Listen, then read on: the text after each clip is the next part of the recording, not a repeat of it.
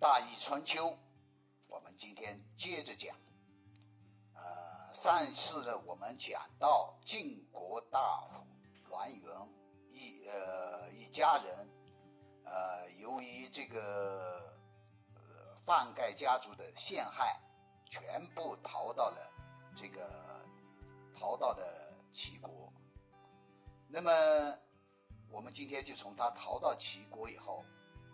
给大家讲。那么，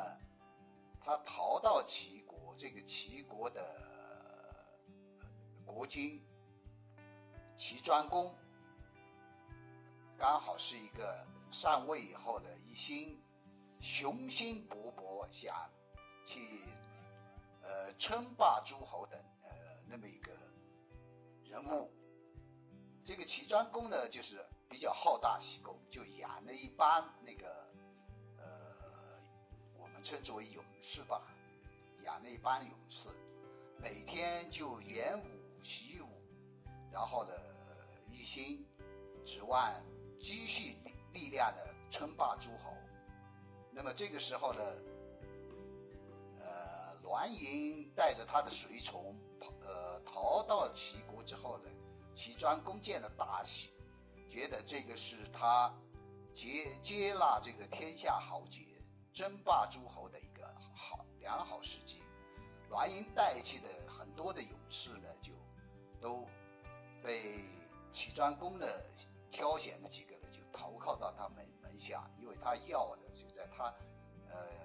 投靠在齐庄公门下的齐庄公要要那个。栾盈也没办法，就只有让他，啊，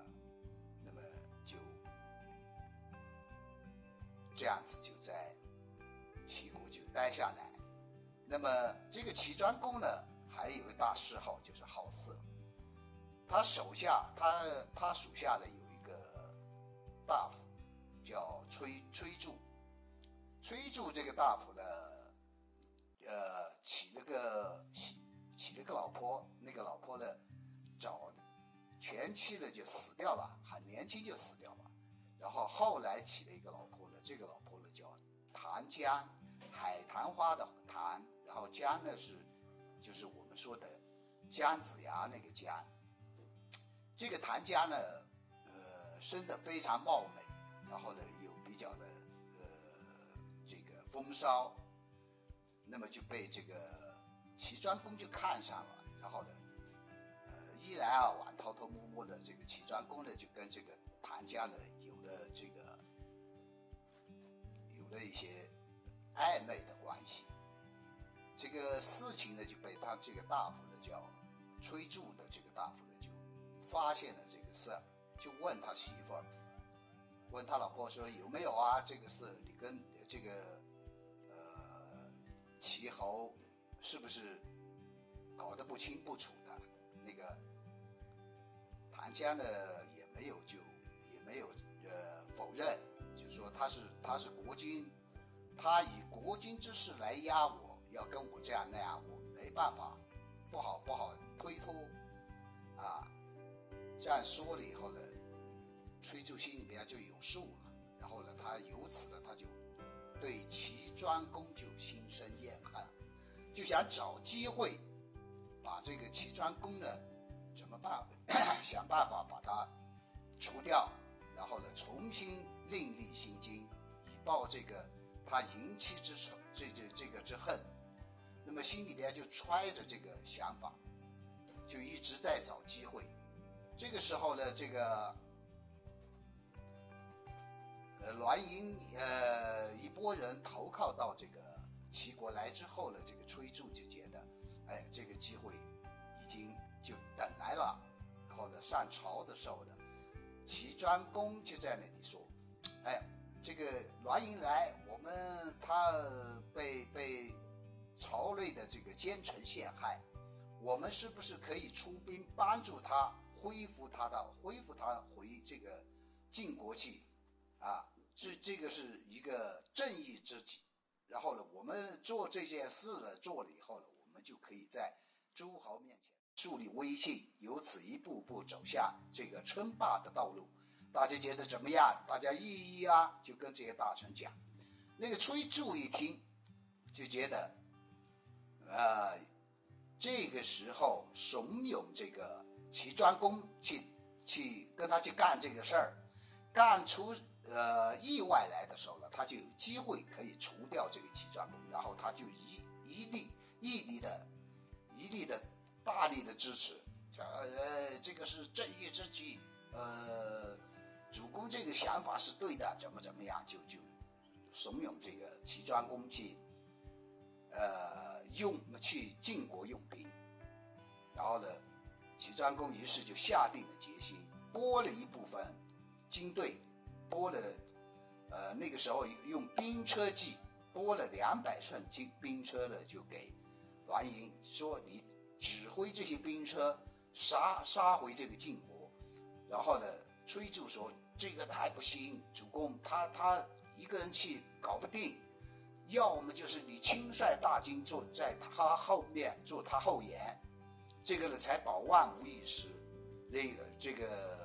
齐庄公呢就听信了这个崔杼的这个建议呢，就带着呃一大波军队呢就跟在这个栾盈的背后。栾盈呢就首先到了这个他的这个封地齐阿。这个七阿呢实际上在早期的时候是呃。晋国晋侯的这个发祥地，就是晋侯的这个这个氏族，他是姬姓，是属于跟这周天子的这个家族是一个姓的，也就是说是周周周天子的远亲这样子。那么这个最早的封地呢，晋侯的最早封地呢就在曲阿，曲阿，所以呢，他的地位呢仅仅次于当时晋国的首都叫绛城，那么。仅次于这个晋国的首都绛城，那么他首先进入了他的这个曲阿，就找到了他家臣叫西武。我上上集已经讲过西武，然后呢，进到呃这个曲阿以后呢，就召集曲阿的这个呃呃部属呃下属，然后呢，准备再集合一些人呢去攻打绛城。这个时候呢，这个西屋就西武呢，就这个家臣就带他守妻阿这个人呢，就来就欠跪他，就跟他说：“你原来躲避这个国君，国君也没有杀你，只是只是把你逐出了这个都城。你现在反杀回去了，原来呢是你有理，你是受冤枉的。现在如果你造反杀回去的话，那么你自己就变成了这个没道理的。”然后呢，就很很危险，有可能就就就搞得身败名裂。这个栾盈呢不听，栾盈说，就说我带着军队杀向京城，即使是战死了，也是也毫无后悔，就我就不后悔。这样子说了，这个西武呢就没办法去阻止他。这个时候呢，上次我上一集我们讲过的这个新语，就是。带着他的家产来投靠他，啊，忠心耿耿的心仪，啊，追随他到这个曲阿来，从呃绛城逃回，呃，跑到呃这个曲阿来投靠他的这个心仪呢，也出来劝他，说我追随你就是因为你是一个正人君子，是一个这个，呃，你本身是受了冤枉，因此呢，我忠心耿耿追随你。现在你要去造反，那么。这个结果呢就不好意料，期望主公你好好的想一想，不要去做这个事儿。这个事儿呢，我估计了八成是会搞得自己身败名裂。这个时候呢，栾盈什么人的话都听不进去，就一一意孤行，就一定要去去将去攻打绛城，然后就率领着这个从齐国借来的这个呃兵马，带着屈阿。本身的兵马，还有这些他的这些他，呃管纳贤士召集的这些武士，其中我们上集说过一个叫独荣，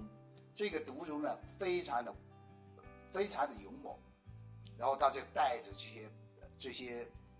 呃加成部队等等，就浩浩荡荡的奔向这个绛城。辛夷一看这个时候呢劝，不能阻止他这个去去。绛城进攻绛城，辛夷就觉得，这个这个他将整个的栾氏的这个势力呢将会大难临头，这这这样的情况下，辛夷就毅然自自杀身死，这个辛夷呢也是在这个故事当中，我们提他去投靠这个投靠栾盈的时候呢。曾经就被这个晋平公逮到，跟他问他为什么要违反命令要出城去投靠栾盈，他的那那番这个回答，他说这个栾盈就是他的金，因此呢他是忠金的行为，非常的感人。那么他在劝慰劝导这个呃栾盈，劝劝他不要去起兵造反，栾盈不听。在这样无果的情况下呢，他也毅然就杀身成仁。这个小人物在春秋篇上也谱写了一曲我们说的重大义轻生死，我们这个主题的一个很很辉煌的一个开放开一个一个典范。那么话说这个栾盈带着军队，带着他的勇士，就杀向了这个绛城。那么到了。到了接近这个首都绛城的时候呢，他就，呃，他内部他的他在绛城内部有个跟他很要好的大臣叫魏准，魏准呢，呃，他就他就差人派了一个这个手下的人去暗中联络这个魏准，叫魏准做他的内应，在在绛城内部起兵帮助他。啊，去攻打这个，攻打晋平公，攻打这个呃绛城这个都城。那么魏转呢接到他的这个报信呢，魏转也准备就动员了自己的自己的私人武装，然后呢呃做做了一些积极的准备，准备就是说做他的内应。然后呢，他们就这样子，里里边有内应。外边有有有军队有猛士，那么这个栾盈的这样子觉得，这这个安安排是天衣无缝，非常的周密，这个计划非常周密，一定是能够呃很顺利的拿下绛城。然后呢，他的军队到了城下以后呢，他就派他这个独荣，他的这个第一勇士，他招招募的第一勇士，这个独荣非常的有战斗力。他就跟独荣，呃，跟部下说：“我们带着军队来打绛城，独荣一个人就可以独当一面，作为一支军队，他可以抵挡万军。那么就派独荣一个人去攻打这个绛城的南门。他们先从北门打，然后呢，那个那个独荣一个人呢就去南门打。那这个双方就夹攻这个将城。先说这个独荣在攻打南门。”的时候呢，他去到南门下边那个呃，这这边呢，主要率领抵抗的这个人呢，都是就是范盖的一族的人，范盖和其他那些大夫，这呃其他的那些清大夫家里边组织起来的军队来抵抗这个呃栾英的进攻。那么这几呃这几家呃重要的卿大夫呢，他们手下手下也有一些勇士。那么，到独龙到南门下挑战的时候的那些呃个几几个卿大夫呢，就在那里商量说，独龙是天下猛士，